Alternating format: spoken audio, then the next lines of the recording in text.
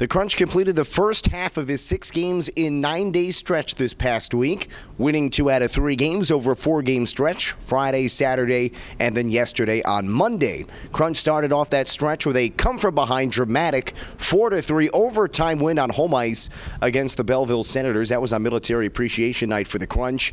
The next day, they went out of the division, lost a 2 0 game against the Wilkes-Barre Scranton Penguins, first shutout loss of the year for the Crunch, and their first time being shut out since Game 4 of the North Division semifinals. The Crunch, though, bounced back in resounding fashion with a 3 1 win on Monday in Utica against the Utica Comets. That evened up the Galaxy Cup series with the Comets.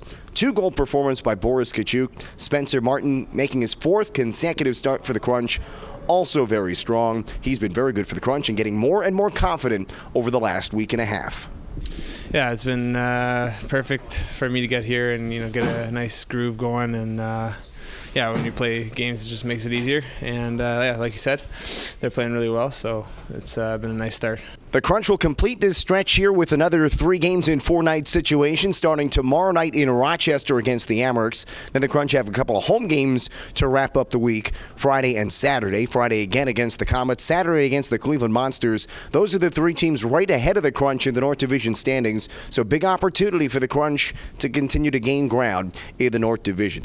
The Crunch's two wins last week give them seven on the year, now 7 4 2 and 0. And with 16 points, they are in sixth place in the North Division. Not only a point behind a handful of teams, though, in the division. And this race is getting tighter and tighter here in the middle part of November. So, with this week getting started on Wednesday, there are four straight days where you can catch the Crunch on air.